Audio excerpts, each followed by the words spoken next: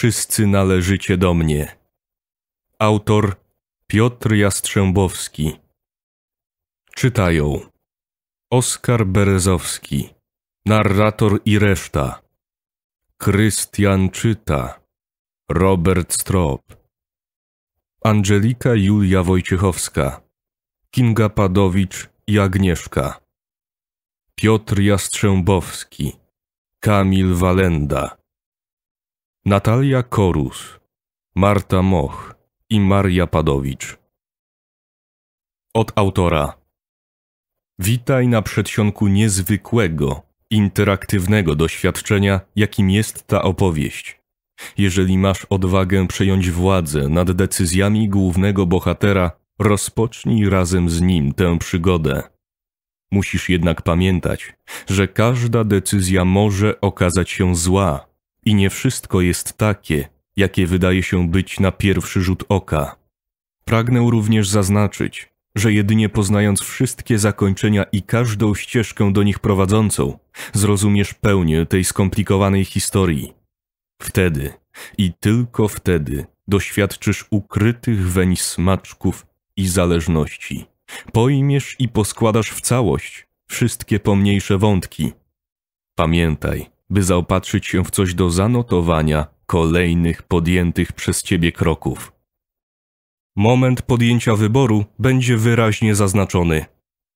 Aby wybrać ścieżkę, kliknij w jeden z dwóch kafelków, które pojawią się na końcu fragmentów.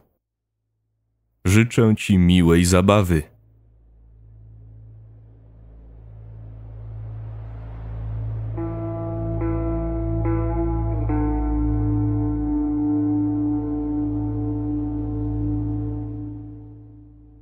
Odbicie, w które wpatrywał się Robert, nijak miało się do tego, co widział zazwyczaj spoglądając w lustro. Biała jak mąka skóra twarzy już sama w sobie przyprawiała go odreszcze.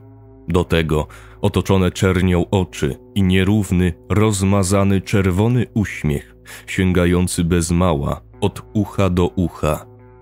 Całość prezentowała się perfekcyjnie, w sam raz, na nadchodzący wieczór.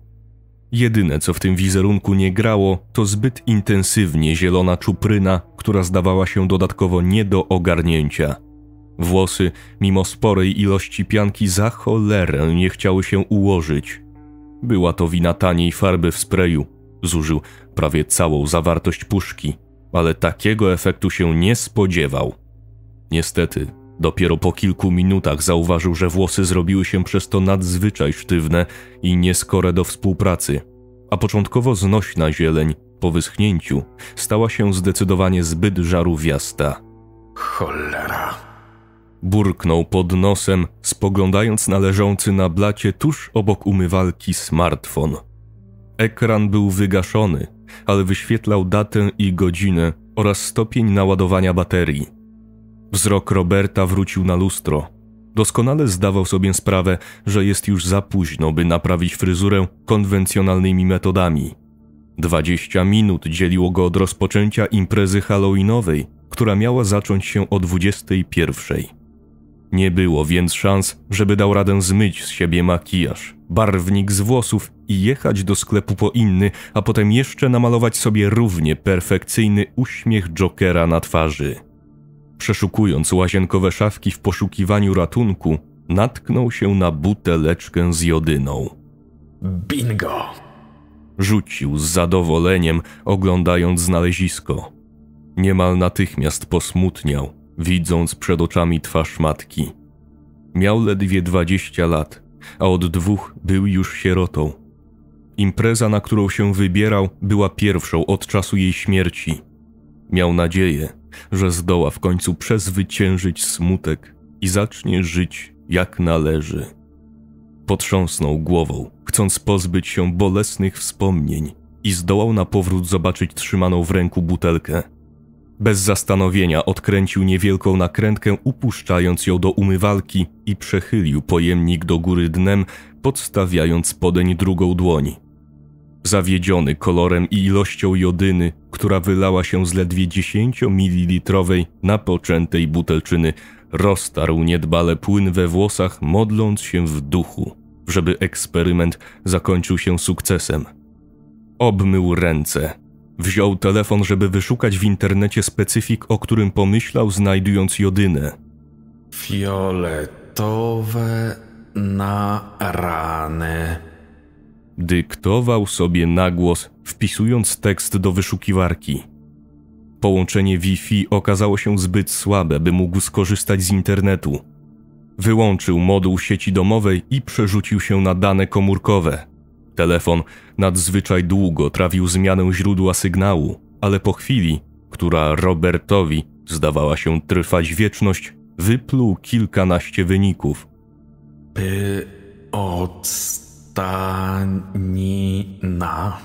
Dukał, usiłując odczytać pierwszy z listy tytuł, po czym otworzył artykuł. Gencjanowy fiolet, roztwór wodny. Zamilkł i dokończył czytanie w ciszy. Do głowy chłopaka zaczęły napływać wspomnienia z dzieciństwa. Scena, gdy wyłożył się na starym asfaltowym boisku szkolnym i zdarł na skórek na dłoniach i kolanach, przywiodła na jego twarzy ledwie widoczny pod makabrycznym makijażem uśmiech. Nostalgiczna wizja matki, smarującej obolałe miejsca kojarzącą mu się z wydzieliną ośmiornicy Gencjaną, znów przywiodła na ułamek sekundy myśl o ciężarze życia, które od dwóch lat musiał dźwigać samodzielnie. Zacisnął mocno powieki, zupełnie jakby chciał zasłonić nimi myśli. Westchnął głośno i spojrzał na telefon, ale nadal widział tylko ją. Zablokował urządzenie, odkładając je na miejsce i przeniósł wzrok wprost na swoje odbicie w lustrze. Co do. Urwał, wpatrując się z niedowierzaniem w wizerunek potwora ze zwierciadła.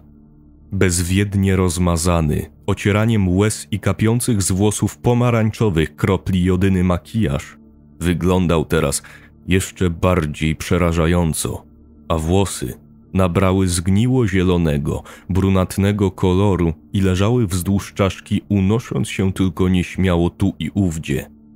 Robert, nie mogąc oderwać od siebie wzroku, wpatrywał się w odbicie z niezdrową fascynacją i zachwytem nad dziełem, jakie widywał jedynie w filmikach na YouTube, ucząc się metod malowania twarzy. Ciężko mu było uwierzyć, że zrobił to nawet lepiej i to własnoręcznie, bez niczyjej pomocy. Niespodziewanie do jego uszu dobiegł dźwięk z telefonu, sygnalizujący nadejście nowej wiadomości na jednym z komunikatorów, jakich używał na co dzień. Chłopak zignorował dzwonek, nawet nie spoglądając na smartfon, ale ten nie zamierzał pozwolić sobie na takie traktowanie. Kilka sekund ciszy przerwała seria uderzających w uszy piskliwych dźwięków. Robert, przyciągany artylerią sygnałów, niechętnie zezował na zapalający się ekran. Kolejne wiadomości, które nagromadziły się przez cały czas, gdy telefon był odcięty od sieci, przychodziły jedna za drugą, a dzwonki kilku komunikatorów zdawały się nachodzić na siebie, tworząc wyjątkowo bolesną kakofonię. Zamknij się, kur. Urwał, nerwowo chwytając w dłonie urządzenie. Gdy tylko wziął je do ręki, zamilkło jak na rozkaz. Przez kilka sekund Robert obserwował, jak trzęsące się dłonie oplatają urządzenie. Smartfon łypał nieśmiało na właściciela niebieską diodą w lewym górnym rogu wygaszonego ekranu. Przypominało to wzrok skarconego za złe zachowanie psa i ugasiło złość chłopaka. Siema, mordo. Robert zaczął bezgłośnie czytać wiadomości napisane przez jego najlepszego kumpla, Kamila. Gotowy na biberoku? Napisał Kamil. Halo, halo, strop! Brzmiała kolejna. Większość już jest, Menelu. Dziesiątki krótkich, kilkuwyrazowych wiadomości, które równie dobrze Kamil mógłby zawrzeć w jednej dłuższej, przeplatały się z nawoływaniem zniecierpliwionego przyjaciela, spowodowanym brakiem odpowiedzi ze strony Roberta. Spłynęło także parę zdań od koleżanki. Ta akurat używała innego komunikatora i nie była aż tak natarczywa jak Kamil. Ech, sorry. Napisał kumplowi Robert. Dopiero złapałem neta. Zwaliły się do mnie wszystkie wiadomości od ciebie. Jest też coś od Kingi. Myślałem, że oszaleję od tego jazgotu. Nie martw się, będę punktualnie. Przeczytał całość raz jeszcze i wysłał, po czym zerknął na wiadomość od Kingi i odpisał również jej. Hmm, jasne, że będę. Nie mógłbym odpuścić sobie takiej okazji. Pisząc to zdanie, nie miał na myśli samej imprezy. Cieszył się na spotkanie z Kingą. Mam już dość zamulania w domu. Czas na relaks. Do zobaczenia na miejscu. Tę wiadomość także skontrolował przed nadaniem. Dwukrotnie. Wygasił ekran i nie spoglądając w lustro wyszedł z łazienki na klaustrofobiczny, ciemny korytarz. Nie był zaciemniony z powodu braku światła. Stara boazeria, która pokrywała ściany, straciła już dawny połysk, a deski zczerniały ze starości, pochłaniając większość promieni wydobywających się z sufitowego plafonu. Łazienka znajdowała się na końcu korytarza. Naprzeciw były drzwi do mieszkania, po lewej wejście do pokoju Roberta, po prawej kuchnia oraz salon, który kiedyś pełnił również funkcję sypialni mamy. Od śmierci pani Strop dostępu salonu broniły wiecznie zamknięte drzwi. Robert nie zaglądał tam nawet na chwilę.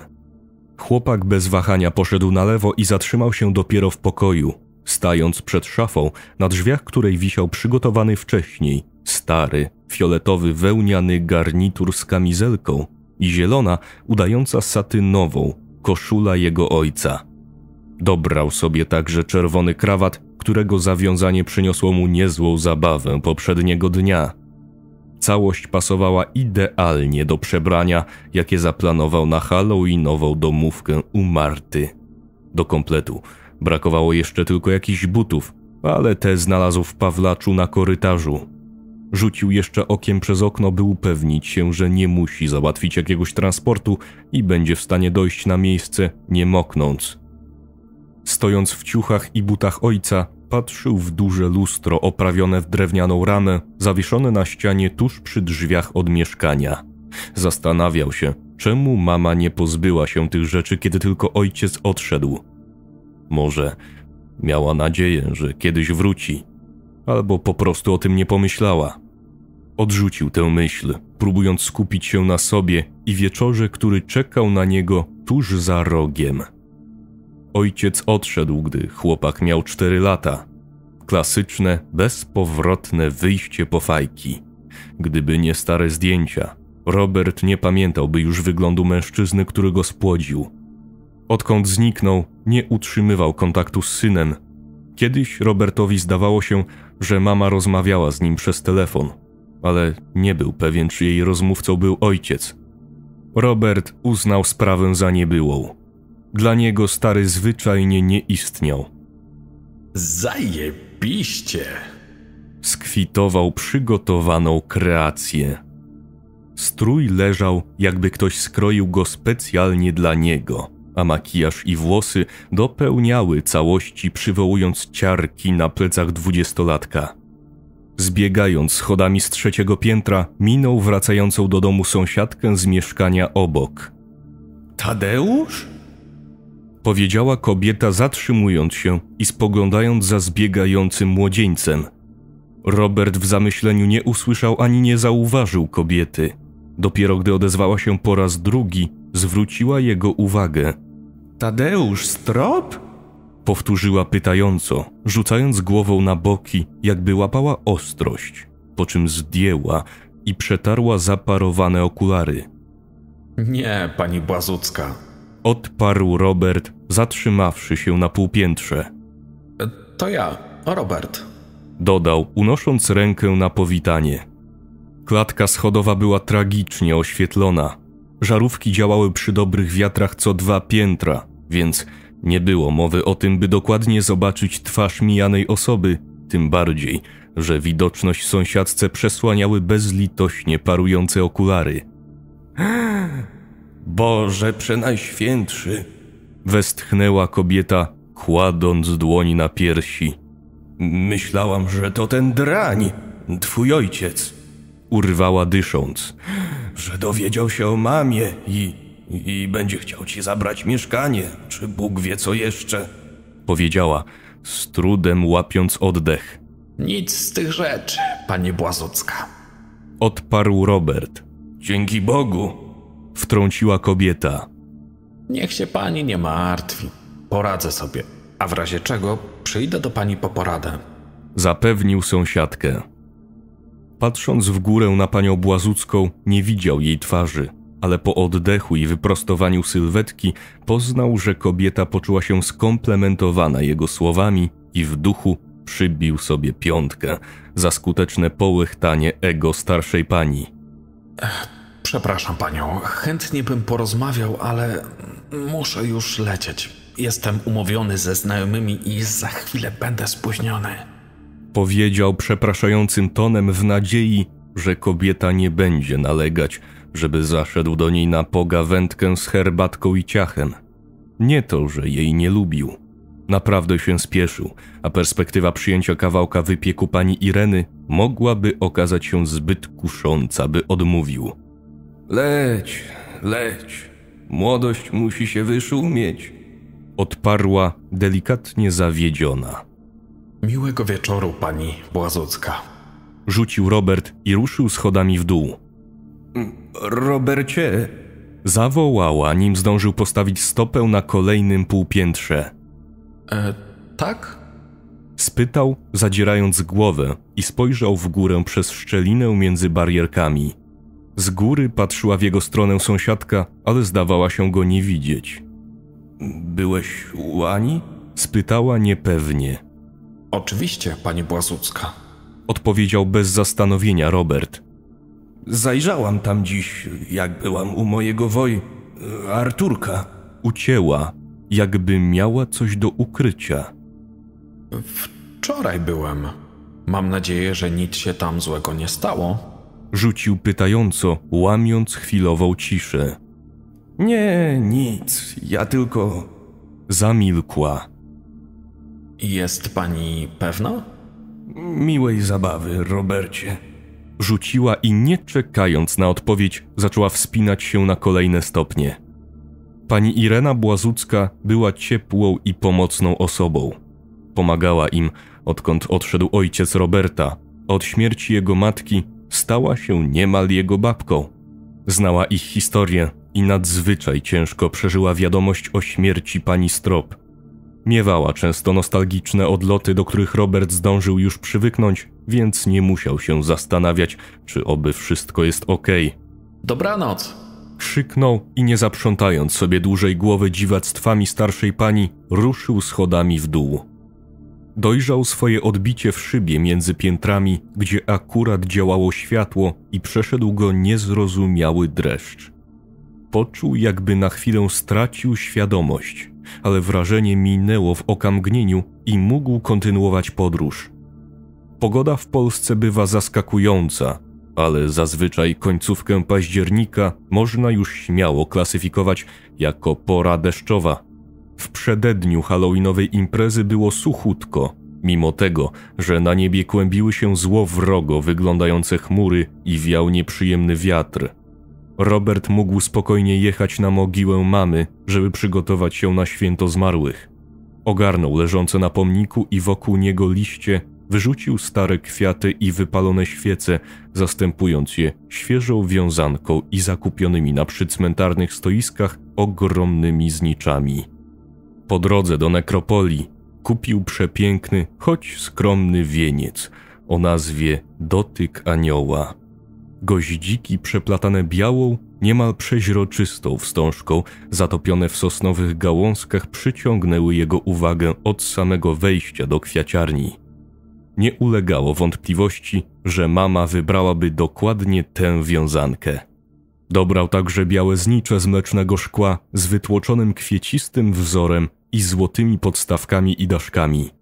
Ustawił wszystko na tyle symetrycznie, na ile był w stanie. Zapalił świecę i zabezpieczył wieniec przed porwaniem przez wiatr dorodnym kamieniem. Patrząc na to, co zrobił, czuł zadowolenie. O ile można było nazwać to uczucie zadowoleniem. i z czystym sumieniem oraz poczuciem spełnionego obowiązku wrócił do domu. Dnia 31 października również nie spadła ani jedna kropla deszczu, przynajmniej do momentu, gdy Robert otworzył drzwi klatki schodowej i wyszedł na zewnątrz, zatrzymując się pod zadaszonym wejściem. Szlak by to. Wymamrotał, widząc przysłowiowe urwanie chmury. Pomyślał, że wszystko, co zbierało się na niebie od dwóch dni, postanowiło spaść akurat teraz, a od domu Marty dzielił go dobry kilometr szybkiego marszu. Nie było cienia szansy, żeby dotarł na miejsce bez zrujnowania kostiumu. Wyciągnął telefon i próbował dodzwonić się do zaprzyjaźnionego taksówkarza, jednakże bezskutecznie. O pomoc poprosił wujka Google. W małym miasteczku, w którym mieszkał, nie było Ubera czy tym podobnych korporacji. Zaledwie kilku niezrzeszonych taksiarzy świadczyło usługi transportowe, ale żaden, do którego znalazł numer w internecie, nie odbierał. Dodatkowo, przez miejskie oszczędności latarnie wyłączano po godzinie 20, więc do tego wszystkiego dochodziła jeszcze niemal absolutna ciemność, którą przełamywały jedynie światła z okien budynków i reflektory przejeżdżających aut. Robert odwrócił się i wyciągnął z wewnętrznej kieszeni marynarki klucz, żeby otworzyć drzwi od klatki. Większość bloków wyposażono już w domofony z cyferblatem. Budynek, w którym mieszkał Strop, nie dostąpił jeszcze tego zaszczytu. Żarówka nad drzwiami była jak zwykle przepalona. Musiał więc przyświecić telefonem, by w ogóle trafić kluczem do zamka. Nachylił się, by lepiej widzieć, gdy nagle poczuł uderzenie w głowę. Oj, przepraszam. Krzyknął wychodzący z klatki mężczyzna, chwytając Roberta za ramiona. Nic się nie stało, panie Nosowski. Wysyczał Robert, masując obitą głowę. Kompletnie cię nie widziałem. Dodał facet, spoglądając na niedziałającą żarówkę nad drzwiami. Skrzydło klatki miało pomarańczową szybę, przyozdobioną jakby wydrapanymi prostokątami, przez które nie było widać kompletnie nic, gdy na zewnątrz nie świeciło światło, a latarka telefonu okazała się zbyt słaba, by sąsiad ją zauważył i nie przyłożył stropowi drzwiami w, w strop. Jest okej, niech się pan nie martwi. Zapewnił chłopak. Na szczęście jeszcze nie wszystko w tym bloku jest rozwalone. Wskazał na sprężynę domykającą drzwi. Byłoby gorzej, gdyby nie trzymała. Dodał. Mhm. Mruknął Ryszard. Wygląda na to, że najsolidniejszą rzeczą w tym bloku jest twoja głowa. Powiedział żartobliwym tonem. Robek zaśmiał się delikatnie w odpowiedzi, nadal masując czubek głowy. Światło z klatki wydawało się wyjątkowo silne w ciemności panującej na dworze i wylewając się na zewnątrz, oświetliło stropa wystarczająco, by wieczorna kreacja zaciekawiła Nosowskiego. Skąd wracasz? Spytał mężczyzna. Nie wracam, wychodzę, ale. Wracasz. Odparł z przekąsem sąsiad, przerywając wypowiedź Roberta. Po parasol. Dodał.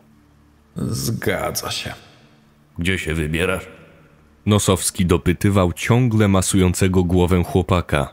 Na imprezę, do znajomych. Daleko? Nie, jakiś kilometr.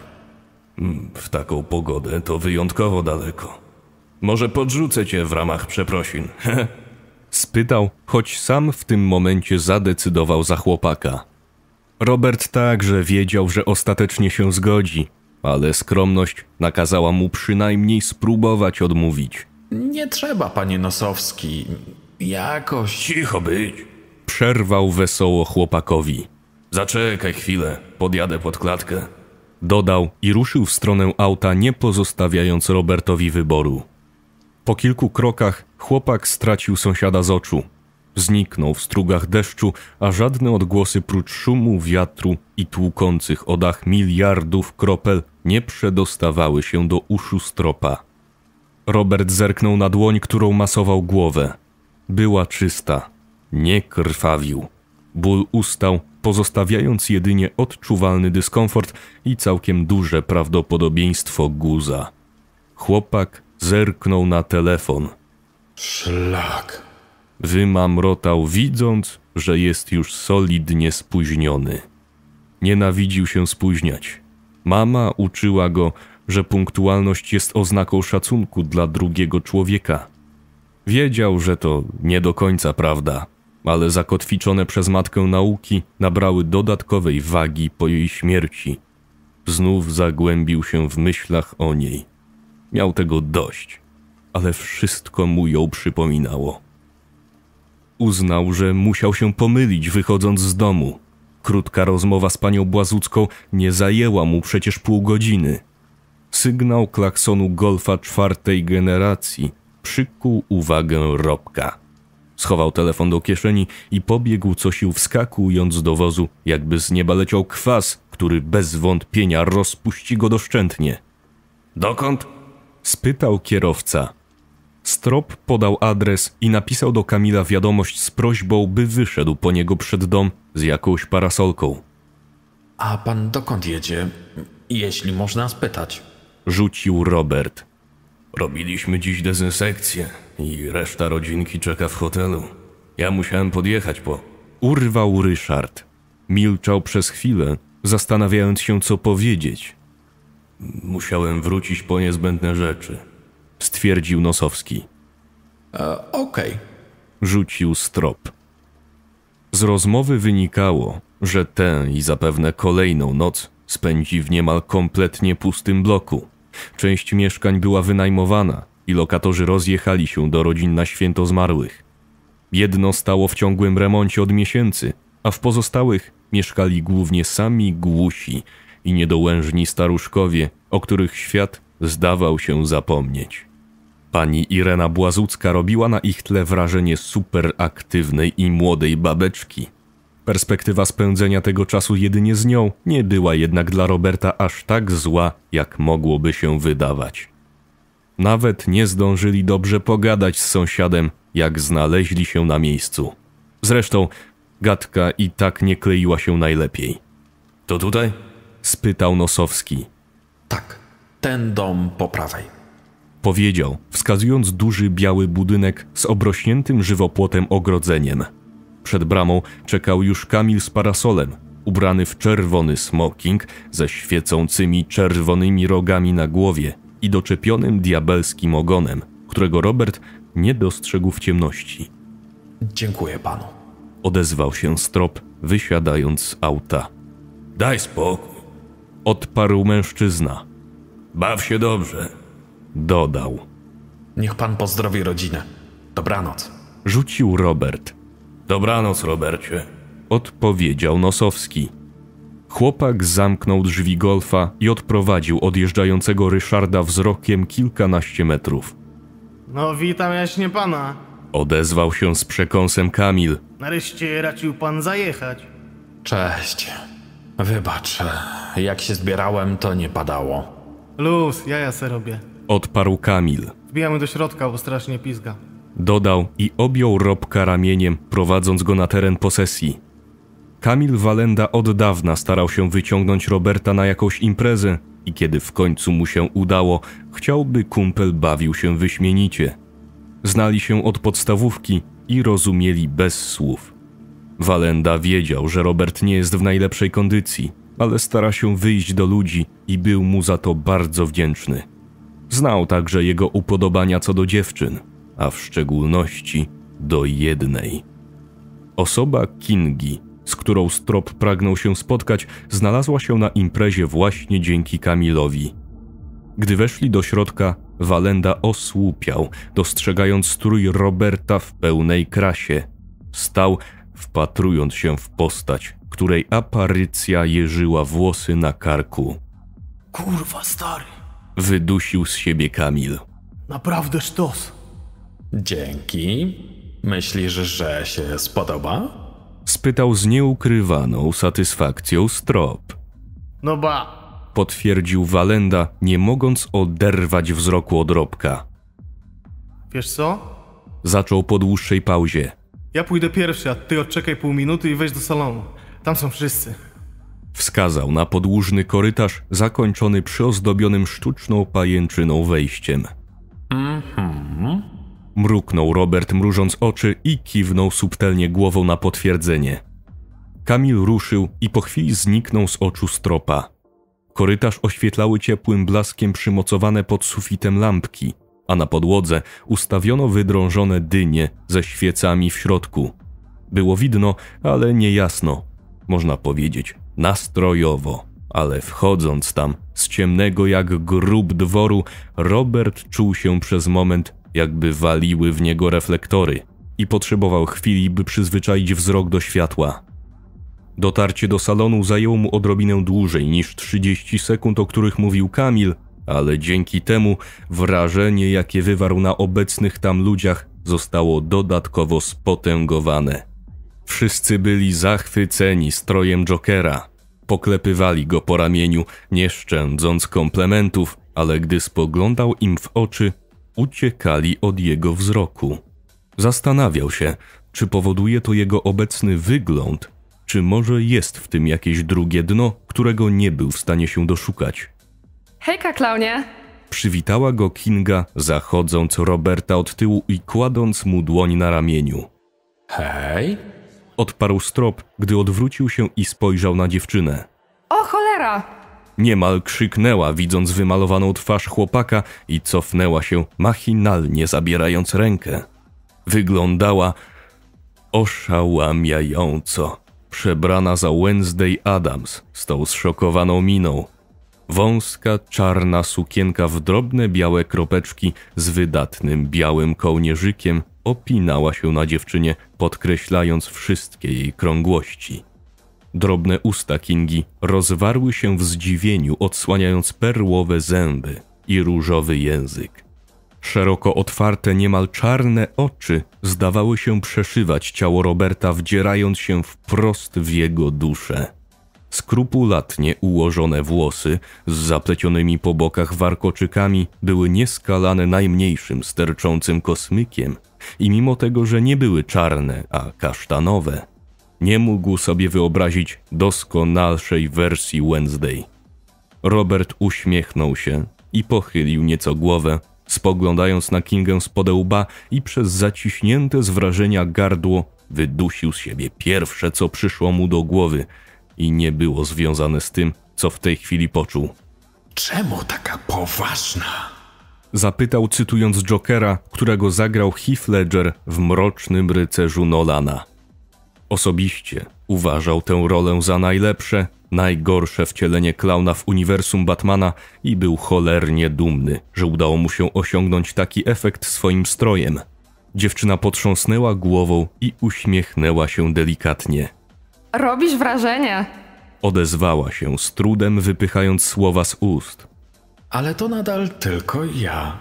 Odparł Robert. I to ty dopiero robisz wrażenie. Dodał. Ja tylko umalowałem gębę, włosy i włożyłem stare łachy ojca. Nad tobą pracował chyba sztab specjalistów z planu rodziny Adamsów. Ej! Odezwała się wyraźnie zawstydzona i dotknęła dłonią jego ramienia, rumieniąc się nieznacznie, co świadczyło o znikomym makijażu. Kinga wyluzowała, choć długo jeszcze nie mogła przywyknąć do wyglądu Roberta. Wraz z mijającymi godzinami i spożytym alkoholem całe towarzystwo straciło zainteresowanie strojami, a część nawet zrzuciła głupawe dodatki, które utrudniały zabawę. Uwaga, ludziska! Odezwała się gospodyni Marta Moch, wyciszając muzykę. Mam pomysł! Gdy goście spojrzeli w jej stronę, uniosła nad głowę drewnianą skrzyneczkę wielkości kartki A4. Robert powiódł wzrokiem po zgromadzonych, szukając wśród nich Kingi, która chwilę wcześniej poszła do toalety. Było kilka minut przed północą. Zauważył godzinę na zegarze zawieszonym nad wejściem do salonu. Wywoływaliście kiedyś duchy? Spytała Marta, kładąc skrzyneczkę na stoliku, uprzednio odsuwając zalegające tam szklanki. Strop poczuł silniejsze bicie serca. Wręcz słyszał donośny łoskot mięśnia dobiegający z klatki piersiowej. Pudełko przypominało grę planszową, ale nią nie było. Napis Ouija, wypalony na nim ozdobnym fontem, mówił jasno, jaką kryje zawartość. Strop, widząc to, mógł policzyć każdy włos na swoim ciele i miał wrażenie, że skóra zrobiła się nadwrażliwa, a najmniejszy dotyk sprawiał mu ogromny dyskomfort. Dawać świeczki! krzyknął jeden z gości. Pozostali podłapali pomysł i tłumnie przystąpili do organizowania miejsca na przeprowadzenie ceremonii. Do salonu weszła Kinga i nie zwracając uwagi na to, co się dzieje, podeszła do Roberta. Wszystko okej? Spytała dotykając delikatnie palcem brody stropa i uniosła jego twarz do góry, kierując ją na siebie. E, t- tak, ja. Urwał, gubiąc słowa. Coś się stało? Źle się czujesz? Dociekała, Nie, jest e, dobrze. powiedział, tym razem bardziej zdecydowanym tonem. Mruknęła, dając Robertowi do zrozumienia, że nie kupuje tej ściemy. Marta wpadła na genialny pomysł. Odparł i spojrzał na gospodynię, do której Kinga stała tyłem. Dziewczyna odwróciła głowę wiedziona wzrokiem Roberta i zobaczyła, jak Marta wraz z kilkoma osobami kończą już ustawiać opróżniony ze zbędnych rzeczy stół z rozłożoną planszą na środku salonu. Ouija? Spytała, obserwując zaaferowane towarzystwo. Tak. Potwierdził Robert. Kinga wróciła wzrokiem na twarz chłopaka i znów nastawiła ją tak, by na nią spojrzał. Chyba nie wierzysz w te głupoty. Spytała, jakby chciała usłyszeć, że Robert nie wierzy, ale nie uzyskała odpowiedzi. Strop opuścił wzrok. To tylko zabawa. Powiedziała po chwili milczenia. Jasne. Odezwał się Robert. Skoczę tylko do łazienki i zaraz wracam. Pokierujesz mnie? Dodał, próbując wybrnąć z kłopotliwej sytuacji. Dziewczyna uśmiechnęła się i wzięła go pod rękę.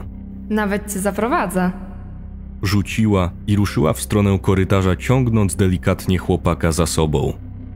Robert zamknął drzwi na zamek i stanął przed osadzonym w płytkach lustrem. Spojrzał sobie w oczy. Zrozumiał, że nie stoi jedynie naprzeciw zwierciadła, ale życie postawiło go przed wyborem, którego wolałby nie musieć podejmować. Nie było bowiem dobrego wyjścia z sytuacji. Mógł wyjść i wrócić do domu, stając się bez wątpienia pośmiewiskiem towarzystwa, lub też zostać i brnąć w to wariactwo z nadzieją, że jak ujęła Kinga, to tylko zabawa. Przyszła pora, by pomóc Robertowi podjąć decyzję. Jeśli chcesz, by został na imprezie, przejdź do fragmentu 2.1. Wolisz, żeby wrócił do domu? Wybierz fragment 2.2.